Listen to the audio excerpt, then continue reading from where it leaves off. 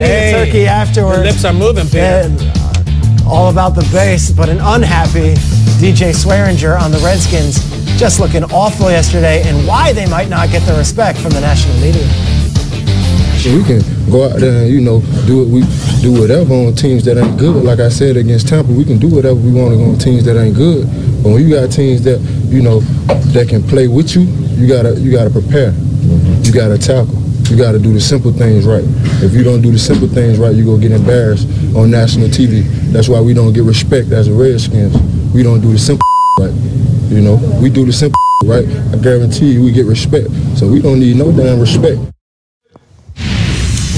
Redskins and Cowboys like two ships passing each other on a night and in the rankings. The Redskins still six and five, but on a bit of a downswing. Their starting quarterback's injured. Colt McCoy did all he could. It was not enough. The Cowboys grabbed sole possession on a three-game win streak, and they've got the Saints in a couple of days right here on NFL Network back in Arlington. Okay, we've been talking all about the NFC because there were three NFC games, but the AFC is vibrant and well as well, and today is Black Friday. So we're going to do a little shopping, GMFB style. I'm going to give you guys a team, the three of you, and you're going to tell me the level in which you're buying in on the team, making a run at the Super Bowl. So are you very excited? Are you going to put it right away? Or are you kind of waiting and kind of seeing how it Okay, goes and sure, checking yeah. out the prices, whatever? Bide your time. Let's go to the AFC playoff picture, and I will go team by team. We're going to keep the Steelers and the Chiefs out of this thing. They're the one and two seeds right now. We're going to go with everyone else. Kyle, I'm going to start with you. All right. Let's look at that four seed. The Houston Texans. Are you buying them as a legitimate Super Bowl contender right now as we head into Week 12? I look at Texas kind of like a Groupon. They like they, they keep sending them to you over, and in fact, they send seven of them to you, and you're like, this looks like a good deal. Like the, my friends seem to like this. One of the guys I work with loves it. He used it, and then I just keep holding on to him, and I never use it. The Texans are fascinating because the joke is worst seven-game win streak ever. It's not a thing you can do. But if you look at it, they don't have the hashtag quality wins, no faults of their own, and they won't have an opportunity to have one the rest of the schedule. So Kay brought it up earlier that they may not win, lose another game. They may finish 13 and three. Some pundits say. That pundit said, however, Peter, you asked Super Bowl favorite? Like, No, like just the style points aren't there yet, so I'm holding on to the group I'm Okay. taking the cart right to the toy aisle with all the superheroes and Iron Man and Wolverine, and I'm picking up the J.J. Watt one and I'm putting it in my cart, and the uh, DeAndre Deshaun? Hopkins, the Deshaun ones. They have these superstars to make a play late in the playoffs. I'm into it. I'm online shopping. buying. I'm online shopping. I'm looking at these guys, and I want to purchase it. Everything about it fits right, looks good. But Winning streak is there, but I'm just not all the way sold on it. So I'm going to take that item. I'm going to just put it in my cart, mm-hmm. and I'm going to wait till later. And then I'm going to go have a meal. I'll come back and check it Okay. out. Well, I got to see a you're little not bit buying more. it yet. Who? Body of work. They'll Next keep team. sending you those emails like it's still in the cart, Still in Petty. Still in Still the in the cart. cart. Check out. Okay, before the season started, you picked the Chargers to win the AFC. They are very much in the playoff Don't picture. do this to me.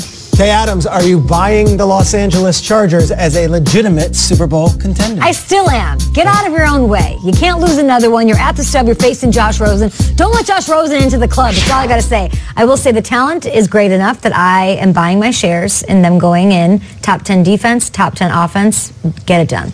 Buying shares. Can't abandon okay, them. heavy right there. Go on. Stock market. I'm looking at them like a flashy sidebar that I like. People in your area like this product, and I really want to click on it because it looks like a great product. I've clicked on it before though, and then they sent it to the wrong address. It's gotten burned. The trust factor with the Chargers is not there for me yet. I don't want to click yet. Yeah, you know, I actually I put on this outfit. This is that, that outfit that looks good in the mirror, but there's there's certain parts of it that just don't fit me. I mean, it's it's you know closing out the games that you're Got supposed it. to win, a little short in the sleeves. Uh, but I, I'm going to wear it though for a while. But I, I feel like people are looking at me funny, saying, "Is that a Chargers outfit you have on?" But I do love them enough to put on the outfit. Let's cut to the one that we want to talk about. What's? Let's go to the one that everyone's bought for every year, but maybe this version isn't what we're used to. Kyle Brandt, Yeah. Right now, week 12, Yeah. are you buying the New England Patriots as Super Bowl contenders? Buying. I'm, I'm door busting. I got a baseball bat. I got a taser. Elbows? Nobody's elbows. I'm going to be on World Star trying to get myself a Patriots TV. I took a blood oath. I cannot give up on them. Yes, I'm buying everything they got. Give me the flat screens. That's my, those are my guys right now. I just don't need them. You know what I mean? Like you're Oh. shopping and you're like, oh, it's a great sweater. It's even on sale a little bit. Cashmere. Nobody's looking at them. Do I need the cashmere sweater? I don't. There's a lot of other cool things that I want to buy. This is not a top 10 defense. When Brady goes to the Super Bowl and he goes to the playoffs and he kills it and he wins Super Bowls, he's got a top five defense. They don't have a top 10 one right now, so I'm not sold on him. I'm walking in the store and I see this big display, and it's New England Patriots. I walk past it. I'm like, I've seen that before. A couple friends that that has that, and I'm like, I don't need it. I go in the store again. It's still there. I'm like, I don't need this. I like it though. It looks good. It's always there. Very consistent. Christmas comes around. It's in my living room. It's always there. So I don't want to buy it. I don't feel like the Patriots are going to win the Super Bowl. It's not Christmas without it. But I. but but there's people in my family that says, Nate, it's going to be in your damn living room. Get used to it. So I'm going to unwrap this gift in the postseason. Uh, what are the Jets? The Jets are like a penny saver. You know, they slip that through your mail and like, hey, just throw it away or make it kindling. I love the Jets, and they're green like money. A penny saver. Is that a thing They still? always play the Pats hard, though. Yeah, that's true.